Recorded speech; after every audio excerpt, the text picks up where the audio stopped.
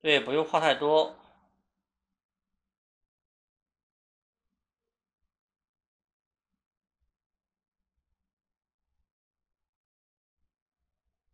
好，看到了吧？OK，整个亮光画完。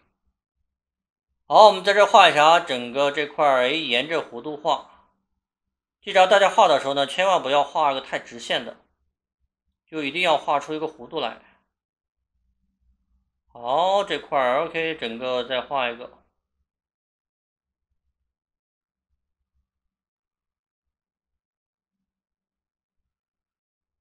好，走你 OK，看到了吗？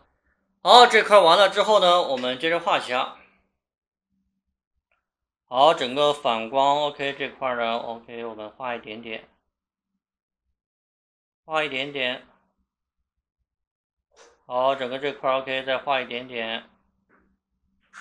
好，这块呢 OK，也是画一点反光，这边画一点反光。好，然后呢这块再画一点反光。好，这来一点点。再来一点点，OK，看一下啊。好，整个这块反光很明显，是不是？好，然后呢，这块再洗一下笔，然后呢，白颜料多一点，OK，整个在这块最亮的地方再给它提亮一下。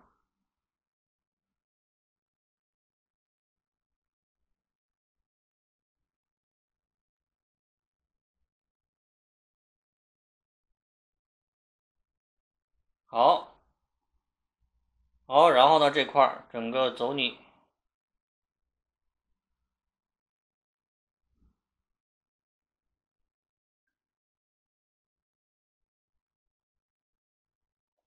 好，看到了吧？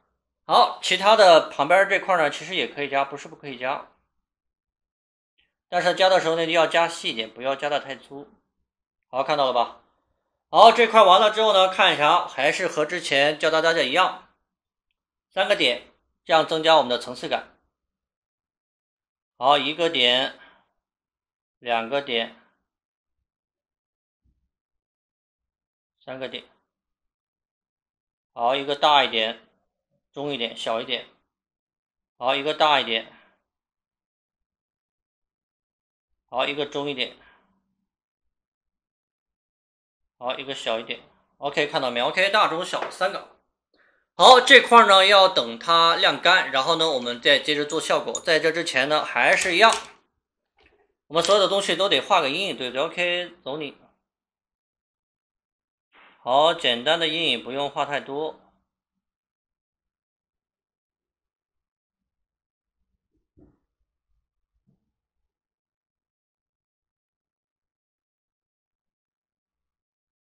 好，看一下整个沿着我们的右边。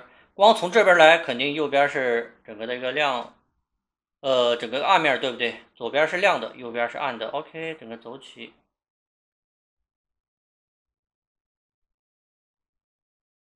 好，打圈加线。OK，这么慢慢画，慢慢画。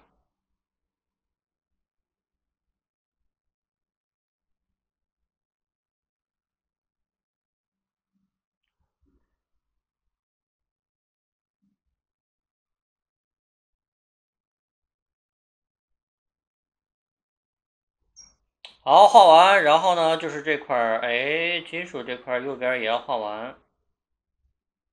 好，对，金属这块呢也要画完。好，不要画太深，一点点就够了。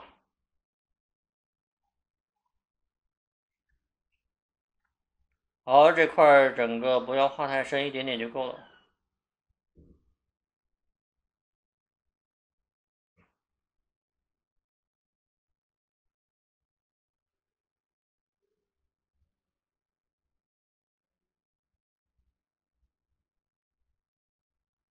好，看到吗？好，整个这样阴影就出来了。好，阴影出来之后呢，OK，我们再用蓝色看一下啊。好，轻轻的在我们已经画好底色的白色、亮色上面呢，轻轻的加点蓝色。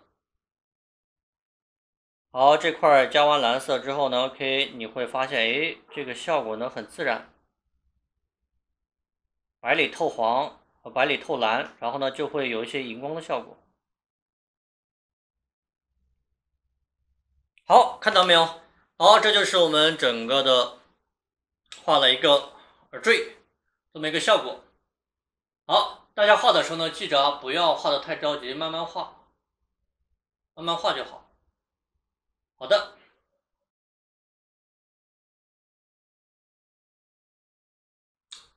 Hello，大家好，欢迎来到 Uni 珠宝设计学堂，我是尹伟老师。今天呢，给大家分享一下，关于珠宝手绘的内容。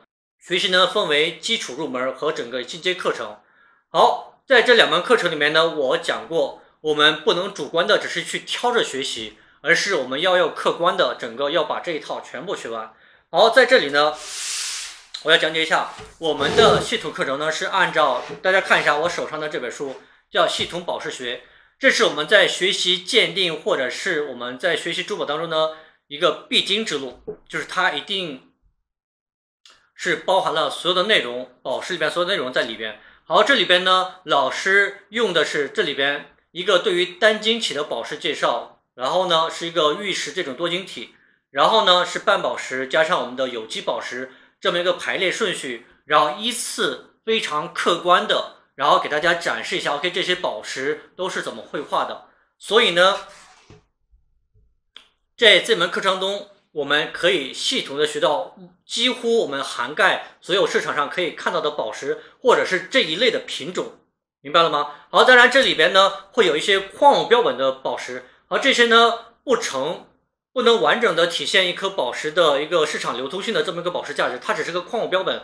好，这些呢我就不会体现在这里边的，只要是我们市面上流通的这些宝石呢，我基本上都会收录在内，然后呢系统的给大家讲解。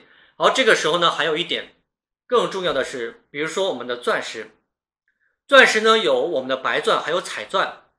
好，就算是同样那个白钻里边呢，也要分为我们的呃我们的标准原钻刻面，还有呢好的异形刻面。好，这些呢我们都会把它安排在我们的课程里边，这些非常非常的重要。比如说今天你学习了个蓝宝石，但是你只会画刻面，让你画一个素面你不会画。蓝宝石还有星光蓝宝石。让你画一个星光，你不会画，明白了吗？这样也就是说，同样的蓝宝石，它还会有不同的刻面和不同的光学效应组成。